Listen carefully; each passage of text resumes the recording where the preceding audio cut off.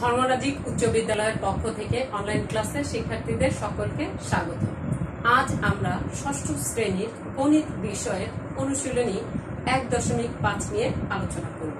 এক দশমিক পাঁচের, দেখো, দুটো বিষয় নিয়ে আমরা আলোচনা করব যে ভগ্নাংশের গসাগু কীভাবে করতে হয় এবং ভগ্নাংশের লসাগু কীভাবে নির্ণয় করতে হয়।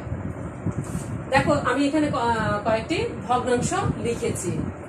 তো প্রথমটা যদি আমরা গসাগু নির্ণয় লিখি কি করব আমরা? গসাগু নির্ণয় দেখো যে আমরা সাধারণভাবে গসাগু নির্ণয় এর আগেও করেছি। এখন আমরা ভগ্নাংশের গসাগু কীভাবে নির্ণয় করতে হয় সেটা করার চেষ্টা করব। আমাদের ভগ্নাংশগুলো কি আছে? দেখো, দুই, সমস্ত চারের এক, ষোলো, তিন, বিশের নয়। আমরা যদি একটু গুছিয়ে লিখি এটাকে। নিচের চার আট এটা নয়, ষোলো, তিন বিশ, নয়। এখন দেখো যে ভগ্নাংশের গসাগু নির্ণয় করার জন্য একটা সূত্র আছে। সূত্রটার অনুযায়ী আমরা প্রথমে কি করব? ভগ্নাংশগুলোর, এই যে এই ভগ্নাংশগুলোর লব গুলাকে কি করব? লবগুলা গসাগু নির্ণয় করব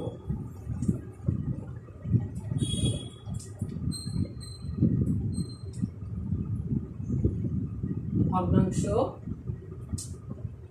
গুলোর লব কত কত আছে? লব নয়, তিন, নয়, এর কষাগু কত আসবে? কষাগু আসবে? একটু ছোট করে লিখে এখানে দেখেন। ভগ্নাংশগুলোর লব নয়, তিন, নয় এত এত এর সাগু, এটার গসাগু তিন আসবে। কেন তিন আসবে দেখো? নয়, তিন, নয়। এটার গসাগু কেন তিন আসবে? তিনটা কি? তিন, তিনের নয়, এক, তিন। কত আসতেছে? আমাদের এই তিনটারই গসাগু আসতেছে তিন। কেন? এখানে দেখো দুইটা তিন আছে, একই। সংখ্যা কিন্তু এখানে একটা এক আছে। তাহলে এটা আর যাবে না, তিনটাকে যেতে হবে। এটা আমরা জানি যে গসাগু কীভাবে নির্ণয় করতে হয়। যে যেই সংখ্যা দিয়ে সবগুলো সংখ্যাকে ভাগ করা যায় সেটা হচ্ছে গসাগু এখন আমরা কি করব? ভগ্নাংশগুলোর যে হর আছে হরের লসাগু নির্ণয় করব। ভগ্নাংশ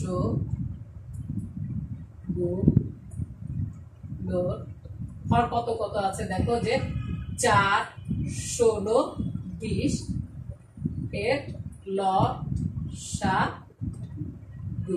এখন এটার লসাগু কত হবে? দেখো যে আমরা যদি লসাগুটা তোমাদের আমি করে দেখাই, চার, ষোলো, বিশ।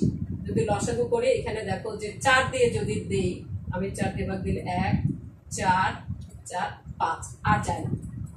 আর কি যায়? দেখো যে যায় না। তাহলে এই যে এই ভগ্নাংশগুলোর লসাগু কত হবে? চার গুণ চার গুণ পাঁচ। চার, পাঁচ গুণ করলে হয় বিশ, চার বিশে আশি। তাহলে এই ভগ্নাংশের যে হর, সেগুলা লসাগু পেলাম কত আমরা? আশি। এবং গসাগু পেলাম তিন। এখন দেখো যে ভগ্নাংশের গসাগু নির্ণয়ের একটি সূত্র আছে। আমরা কি লিখতে পারি যে ভগ্নাংশগুলোর গসাগু সুতরাং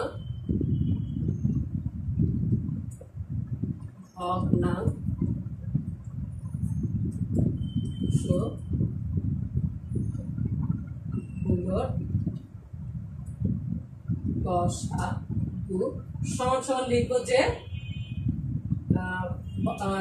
ভগ্নাংশগুলোর মানে লবের মানে লবগুলোর গসাগু, আর নিচে লিখব কি? হরগুলোর লসাগু। সমস্যা হচ্ছে লব গুলোর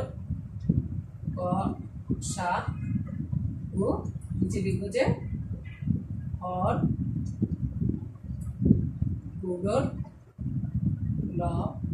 লসাগু তাহলে দেখো যে আমরা যদি এটা বসিয়ে দিই, কত আসে? আমরা লবগুলোর গসাগু কত পেয়েছিলাম? তিন। আর হরগুলোর লসাগু পেয়েছিলাম এই যে আশি। এই দুইটা যদি বসিয়ে দিই উপরে নিচে। তাহলে আমাদের উত্তর বের হয়ে গেল। এই যে এই ভগ্নাংশগুলো, বসাগু আমরা নির্ণয় করলাম কত? এইভাবে। এই সূত্রটা প্রয়োগ করবা, সূত্রটা যদি জানা থাকে তোমাদের জন্য খুবই সহজ হবে যে ভগ্নাংশগুলোর বসাগু যখন নির্ণয় করবা, তখন উপরে যেই সংখ্যাটা থাকে, সেটাকে কি বলে? লব বলে। এইটাকে কি বলে? লব বলে। লব। ভগ্নাংশের লব। আর নিচেটাকে বলে হব। যখন গসাগু নির্ণয় করবা, তখন হচ্ছে তোমার লবগুলো গসাগু এবং হরগুলো লসাগু যেটা নির্ণয় করবা সেটা উপরে এবং উপরেরটারই সেটা করতে হবে। যেমন ভগ্নাংশগুলোর গসাগু নির্ণয় করতেছো তাহলে লবগুলোর কি করবা? গসাগু নির্ণয় করবা। এবং হরগুলোর কি করবা? লসাগু নির্ণয় করবা। তাহলে উপরে নিচে বসিয়ে দিলে গসাগুর জায়গায় গসাগুর মান এবং লসাগুর জায়গায় লসাগুর মান বসিয়ে দিলে তোমাদের নির্ণয় ভগ্নাংশে গসাগু পেয়ে যাবা। তাহলে আমরা কি লিখতে পারি যে ভগ্নাংশগুলো গসাগু আমরা নির্ণয় করলাম।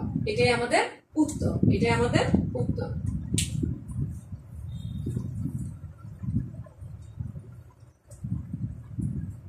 আমাদের এটা শেষ হয়ে গেছে।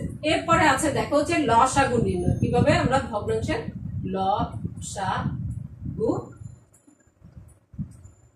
নির্ণয় করব? লসাগু নির্ণয়। সেখানে আমাদের ভগ্নাংশ কত আছে?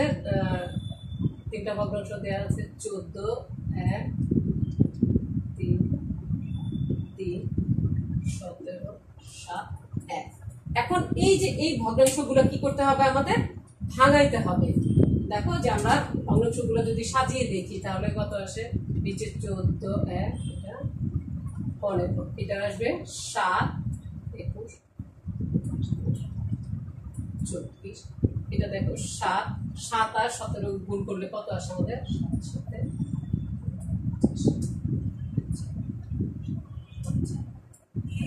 একশো উনিশ আসে আমাদের, একশো উনিশ আসে। তাহলে আমাদের উপরে কত হবে? একশো উনিশ আর এই এক যোগ করে একশো বিশ আসবে আমাদের। একশো বিশ আসলো। তারপর আমরা কি করব দেখো যে এই ভগ্নাংশগুলো আমাদের নির্ণয় করতে হবে লসাগু। লসাগু নির্ণয় করার সময় আমাদের আমরা উপরের যেই উপরেরটাকে আমরা কি বলতেছি? লব। নিচেরটাকে আমরা বলতেছি হর। এখন দেখো যে আমরা কি করব? এইটা নির্ণয় করার জন্য আমরা কি করব? এই যে লবগুলো আছে ভগ্নাংশগুলো প্রদত্ত যে ভগ্নাংশটা সেই ভগ্নাংশগুলো কি করব? লবগুলো আমরা দেখে দেবো যে এখানে, যদি লিখি যে এখানে ভগ্নাংশগুলোর লব কত কত আছে? পনেরো চব্বিশ, একশো বিশ। এত এর লসাগু নির্ণয় করব আমরা। যেহেতু লসাগু করতেছি, তাহলে লবগুলো লসাগু নির্ণয় করতে হবে। এটা তোমাদের মনে রাখতে হবে সূত্রটা থেকে। এই তিনটা সংখ্যার আমাদের কি করতে হবে? লসাগু নির্ণয় করতে হবে। এই তিনটা সংখ্যার লসাগু আমাদের যদি আমরা করার চেষ্টা করি, দেখো যে এখানে যদি আমি দেখাই তোমাদের, এখানে একটু দেখাই, তারপর আমরা এখানে করব। পনেরো চব্বিশ, একশো বিশ। দেখো এটা তিন দিয়ে যাবে, তিন, পাঁচ, তিন, আট আর এটা তিন, চার, শূন্য। এখন আমরা যদি পাঁচ দিয়ে দিই, এক, আট, তারপর যায় আমাদের আট দিয়ে, এক এক এক। এখন দেখো যে পাঁচ, আটে চল্লিশ গুণ তিন।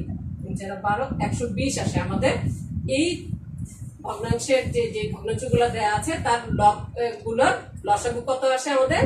একশো বিশ আসছে। একশো বিশ। আবার ভগ্নাংশগুলো কি করব আমরা? এখন ভগ্নাংশগুলোর হর কত কত আছে? চোদ্দ, সাত সাত, এত এর কষাগু নির্ণয় করব আমরা। ক সা, গু। এই চোদ্দ, সাত সাত, সাতের গসাগু কত আসবে আমাদের? গসাগু যদি ছোট করে লিখি, এত এত, এ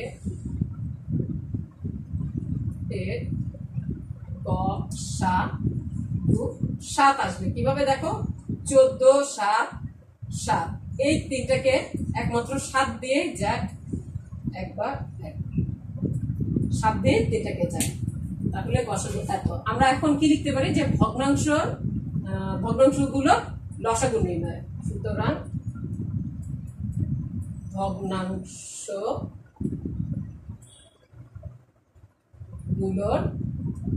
ল সমান সমান হচ্ছে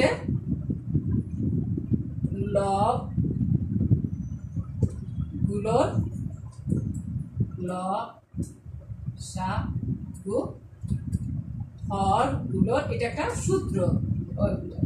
লসাগু নির্ণয়ের সময় যেরকম সূত্র ছিল, লসাগু নির্ণয়ের সময় এরকম একটি সূত্র। দেখো যে এখন আমরা কি করব? লসাগু কত পেয়েছিলাম? একশো বিশ। লসাগু কত পেয়েছি? সাত। এরকম একটি ভগ্নাংশ আমরা, বড় একটি ভগ্নাংশ পেয়েছি। এখন এটাকে আমরা যদি একটু ছোট করার চেষ্টা করি, যেমন সাত দিয়ে যদি একশো বিশকে আমরা ভাগ করি, তাহলে আমাদের কত থেকে পাঁচ তাহলে।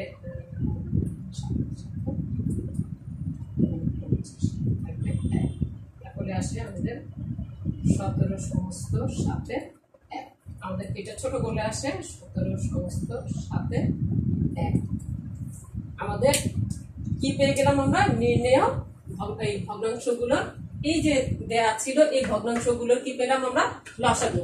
প্রথমে কি করতে হবে? ভগ্নাংশগুলো যেহেতু একটি পূর্ণ সংখ্যা অপ্রকৃত ভগ্নাংশ আছে সেগুলোকে সুন্দর করে গুছিয়ে নিতে হবে। যেহেতু দেখো যে আমরা কি করব?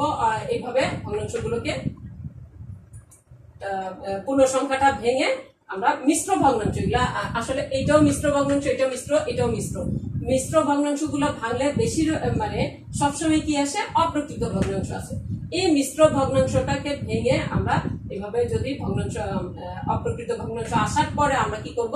ভগ্নাংশগুলো যেহেতু লসাগু নির্ণয় করতেছি, লসাগু নির্ণয় করলে উপরেরটা কি করতে হবে? লবগুলো লসাগু নির্ণয় করতে হবে। দেখো, লবগুলো লসাগু এবং হরগুলো গসাগু।